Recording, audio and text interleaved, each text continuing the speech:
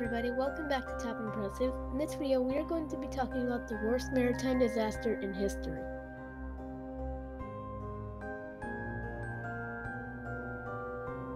The vessel I'm talking about that was the worst in history was this vessel you see right here called the Wilhelm Gustloff.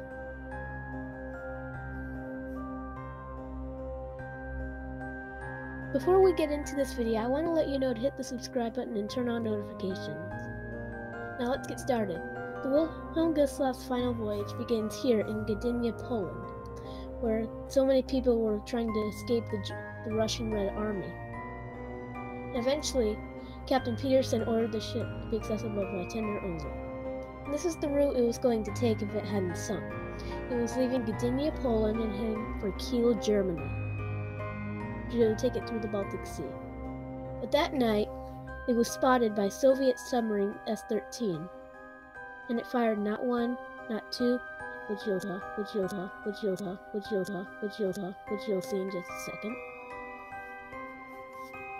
And the torpedoes immediately opened, hit the ship just like they were supposed to.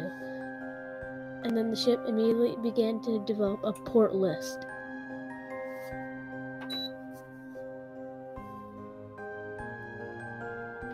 Just 40 minutes after the torpedo detonation, the ship was on her side.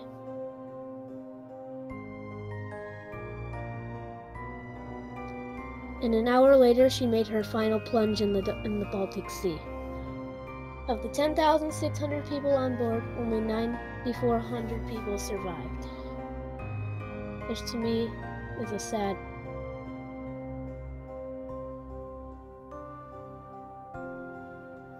Now, I want to let you know to hit the subscribe button and turn on notifications so you won't miss a new video. And if you've learned something new today, please hit that like button as well.